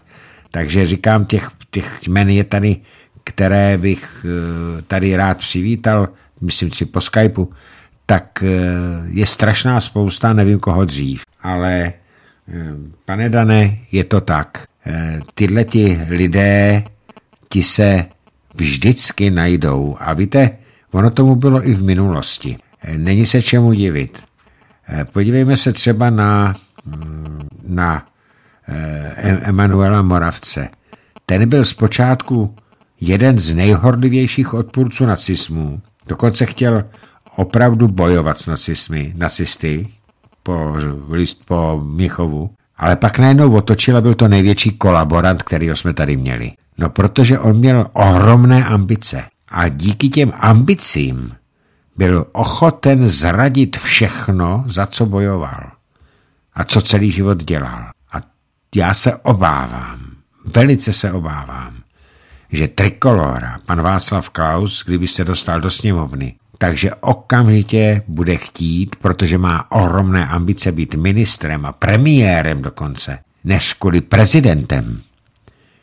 Takže okamžitě, a je to tak, je to tak naplánované, že pokud se dostanou, takže se budou spojovat s ano, protože oligarcha je přece podle rodiny Klausových to nejlepší, co může pro, pro stát být. Teď nadává, aby získal voliče. A pak otočí. Pamatujte si to, co jsem říkal. Uvidíte, že jsem se nemýlil. Tak další sms -ka. Eh, dobrý večer, Milan Stěrlická. Je vše nad slunce jasné, máme dvě volby. Buď nechceme multikulty a v tom případě volím SPD, anebo volím ostatní politické strany, což souhlasím, což souhlasím s migrací. Co vy na to, pane Kapale? Eh, Milane Stěrlicka, máte naprostou pravdu. Eh, podívejte se do sněmovny a podívejte se, co tam ty je za strany. Proti, tvrdě proti migraci, tam je jedna jediná strana, která je vlastenecká, to je SPD. Ano, na jednu stranu tvrdí pan premiér Babiš, že ani jeden migrant a podívejte se, jak hlasují jeho poslanci a co dělá jeho jím nominovaná na komisařku Jourová. Něco jiného říká, něco jiného dělá. Podívejme se na ČSSD, já jsem dneska dostal informaci a nevím, jestli je to pravda nebo fake, ale že díky koronaviru a díky nouzovému stavu, kdy se nemusel eh, Hamáček ptát, za co utrácí peníze, tak jeho ministerstvo vnitra prý koupilo za 84,5 milionů velký dům v Havířově, kde by měla být ubytovna pro migranty a zároveň koupila si za 20 milionů dodávky, kterými by je měla, měli dovážet z těch letišť do toho Havířova, si z Mošnova a koupili i nějaké začlenovací programy a tak dále. Znova říkám, dneska jsem to dostal ten mail, nemohl jsem to ověřit, ale takže nevím, jestli to není fake, ale podívejte se, na to, co dělá ministerstvo vnitra. Žiť. Pan Hamáček je z Aspen institutu. A co prosazuje Aspen institut? No samozřejmě ještě více Evropy, ještě více multikulty. A dokonce, co říkají Aspeňáci z toho institutu? No, ještě, že tady ty migranty máme, nemít těch migrantů, tak by na nás, až ze stárneme, neměl kdo pracovat, protože ubývá Evropa. Já bych chtěl vidět migranty, jak budou živit káfiry. Takže, pane Milane, máte pravdu. Já volím SPD právě proto, že nesouhlasím s eh, migrací a multikulty a s islamizací Evropy a České republiky a jinou stranu tam, která tak tvrdě proti tomu bojuje, tam nevidím. Telefonát, dobrý večer. Krásný dobrý večer, Vladimíre, tady Jindřich z Tábora. Ahoj, Jindřichu. Pozdravuji všechny posluchače a všechny vlastence, i budoucí vlastence. Kéžby. a mám k tomu e, dnešnímu pořadu dvě věci. E, jelikož jsem e, dlouho knihkumtičil, tak nakladatelství naše vojsko nacistickou tématikou v podstatě koketuje už od 95. roku. Jo. To můžu potvrdit. A druhá věc, možná, že by stálo za to odpověď Bratislava Ebra, což je eh, knihkupec. Ano, znám, znám. Na Arbecovo knihkupectví. Ano. A jeden z těch hrdinů, který byli u té Heidrichiády a položili životy, hmm. byl jeho otec. Ale pan Eber to nevydává přeci takovýhle svinstvo. Ne, to určitě ne. No, jenom, jenom k tomu, že by stálo za to jeho pozvat, mm-hmm, protože mm-hmm. je to člověk, který mě ke knihám přivedl. Jo, jo, má jo. úžasný rozhled, ale jeden z těch hrdinů, který padli. Ano, ano, takhle. Mm-hmm, jo, ano, jo, ano. z těch, eh, který měli eh, za úkol vlastně udělat likvidaci, jo, kata národa, jo, tak je vlastně, jeden z nich byl jeho, jeho otec. otec. Jinak pro tvou a i po informaci posluchačů, eh, ozval se nám posluchač, který má knihu eh, prej velice poutavou, která se právě eh, týká té době, doby protektorátu Heidrichiády a tak dále. Sonja to korespondovala s tím naším posluchačem, tak mm-hmm. snad by nám ji měl poslat, že bychom ji mohli potom tady číst a je to také od účastníka, přímého účastníka, to napsal přímý účastník e, i té revoluce v Květnové. Hmm. No a jinak nutno souhlasit, skutečně udavačů u nás bylo velmi málo. Ano. Vím to nejenom od svých babiček, který mi vyprávěli, jak s tím bojovali, jak ta hořkost, že nemohli bránit tu zem, byla napříč spektrem toho národa. Jo. Já ti řeknu jenom osobní, eh, osobní příklad Jindřichu. Eh, můj děda byl francouzský legionář a byl hmm. potom po válce, první teda, byl až do roku 24 členem té, dneska to je hradní stráž, tenkrát to byla garda nějaká, vám prezidentová. Takže byl v hledáčku, hm, gestapa chodil tam na výslechy a vždycky tam zbyli. Eh, dědu to tak naštvalo, že se zapojil do odboje. A teďka si představ, že z celého tehdejšího městečka, které mělo pět tisíc lidí, tak se nenašel jediný člověk, který by toho dědu prásknul tomu gestapu a řekli mu, ale on, on tam totiž tvrdil, že se o nic nestará, že dělá svoji práci. Ale nenašel se tam jediný člověk, který by ho prásknul. Protože kdyby jediný člověk z pětitisícového městečka, nebo čtyřtisícového tedy, prásknul, no tak děda skončí v koncentráku, nebo v kulkou v hlavě, nebo na pečkárně pod sekinou. Takže ano. vím, o čem hovořím. No, ono se udává, že zhruba do roku 42 nebyli schopní e, fašisté přebrat státní administrativu pod absolutní kontrolu. A jinak příběh mé od mé babičky, její první manžel byl nemocný na nohy, vlastně byl na vozíku. Hmm.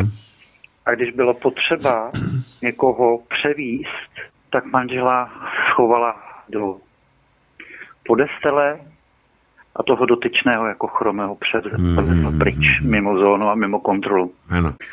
No, prostě ty holky věděly, co a jak, jo, protože věděli nasledený, že jo hmm. a nucených pracích a jako rozně, jo, myslím si, že i ta propaganda, která je i v poslední době, jako prostě jak tlačej, jak dehonestují náš ano, český ano, národ, ano, ano. Jo, že to je přesně eh, jako jenom to, že ztrácejí nervy. Jo, protože to tak není za 30 let. Tady si myslím, že tu morálku neskazili. Pořád to v těch lidech je a mohl bych dneska vyprávět z dnešního odpoledne. Samozřejmě, že spoustu lidí neví, která by je, ale je to i díky tomu, že ten eh, je tak vytěsněný, našponovaný na práci a eh, na jiný starosti, že to, ale pevně věřím, že hlavně i díky vaší jo, eh, rozpěcí, jak se říká, to vědění. Hmm. Já bych jenom si přál, aby naši posluchači o tom hovořili se svými dětmi a vnuky, ano. protože ta mladá generace tak je, ta je náchylná věřit tomu, co se jí nabolíkuje. Ale zase na hmm. druhou stranu, a to vím z vlastní zkušenosti, když mi můj otec vyprávěl, jak to vlastně ve skutečnosti všechno bylo, tak jsem věřil spíš jemu než těm učitelům. A je to hmm. velice nutné, aby se zachovala eh, vůbec český národ jako národ, tak je velice nutné, aby eh, rodiče a prarodiče mluvili s těmi dětmi a vnuky a říkali jim pravdu. Ano, to je, je to jeden z nejdůležitějších věcí. Ano, v rodině ano. mluvit napříč spektrem všemi generacemi. Ano. To je nejdůležitější bod. Jo, protože víme, že všechno eh, tohleto manipulování je hlavně jenom šíření informačního pole, ale je důležité mluvit uvnitř rodin a semknout se a hovořit. Ano. Je to tak, je to tak. Jindřichu. Tam je to jádro, já jsem na tom vyrost. jo. jo. Tak jo, tak jo Jindřichu, díky moc. všechny jo, jo. a přeji všem dobré vztahy a šťastné dny. Taky, ahoj, tak měj se. Tak, vážení přátelé, to byl Jindřich z tábora a jenom pro vás, kteří to ještě nevíte, to byl právě ten člověk, který si sehnal žebřík a vylez na ten podstavec u Koněva a tento člověk, tento Jindřich z tábora, který teď volal, tak sundal ten polystyrenový záchod, který tam umístil eh, ten pseudoumělec Černý, ani nevím, asi pod patronací hmm, obecního úřadu nebo městského úřadu Prahy 6. tak, to je jenom pro vaši informaci. Eh, já teď mám ještě jednu SMS-ku, ono jich je tady víc, ale vám poslední, protože už máme po deváté. Eh, dobrý večer, pane Vladimíre. Ježíš, vy nevíte, že naše vojsko je čistě soukromý podnik? Majitel doktor Emerich Drtina, člen Českého svazu bojovníků za svobodu. Vše na internetu. Ještě vám napíšu o jeho dalších perlách. Zdravím Bára. Díky Báro. Kdybych měl všechno hledat na internetu, tak už neudělám vůbec nic. Takže to, že tam je jakýsi pan Drtina, nevím. Já jsem bral naše vojsko, eh, že to bylo jedno z nejlepších vydavatelství, které se nebálo vydávat i, i knihy, které tehdejšímu minulému režimu nebyly moc pochuti.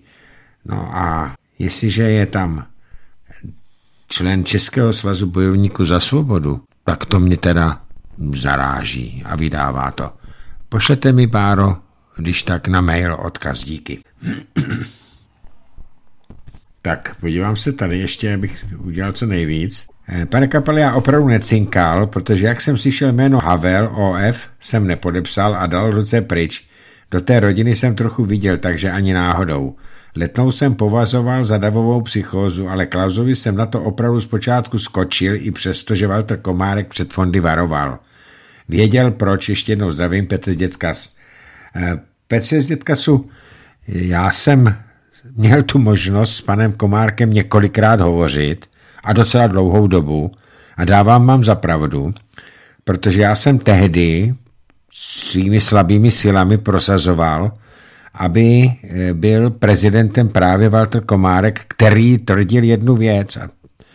Jakmile se pustí do privatizace fondy, tak se vůbec nic nezmění a bude to pořád socialistické vlastnictví. Protože to budou anonymní lidé za tím fondem skovaní, kteří budou jenom sosat peníze a nebudou mít zájem. Václav Klaus Walter Komárka neposlechl. A dopadlo to tak, jak to dopadlo. Tak. Eh, dobrý večer do studia. Poslední sms -ka. I všem posluchačům, pan Blaško mě zklamal. Viděl jsem v něm i perfektního kandidáta na prezidenta, ale teď už si nejsem moc jistý. Ale co takový pan doktor David? Velice mě překvapil, jak funguje v Evropském parlamentu. Děkuji za odpověď. Posluchač Milan Michal z Moravy a píše i pan Kobza je dobrá volba. Tak e, můžu vám říct, Michale, děkuju. E, Ivan David je nej, podle mého názoru, teď je můj subjektivní názor, je nejlepší europoslanec ze všech stran od roku 2004, od našeho vstupu do evropského e, toho blázenství, společenství, protože je jediný poslanec, který pravidelně a pravdivě informuje o všem, co se v Evropském parlamentu děje. Kromě něj to nedělá vůbec nikdo a nikdy nedělal. Když se, a ku podivu, to nedělal ani jeden z nejchytřejších lidí u nás, Miroslav, eh, Miroslav Lanzdorf, tak taky ne. Taky to nedělal. Pan doktor David je jediný. A proto říkám, že je nejlepší. Protože dřív to bylo tak, že se někdo odšoupnul z politiky eh, do Europarlamentu, bral tam šílené veliké peníze a zavřela se za ním voda. On nechodil do médií, nějak nic, zavřela se za ním voda. My jsme ani nevěděli, eh, kdo všechno tam v tom Europarlamentu je. Pan Ivan David je naprostá výjimka. Byl by to taky dobrý prezident. Máte pravdu. Takže, vážení přátelé, to je ode mě dneska všechno. Já se s vámi loučím a eh, přeji vám, aby se vám další pořady Svobodného rádia líbí. No a zítra si poslechněte od 19 hodin, si budu povídat právě s panem generálem Hinkem Blaškem. Ze studia učím, přeji dobrou noc.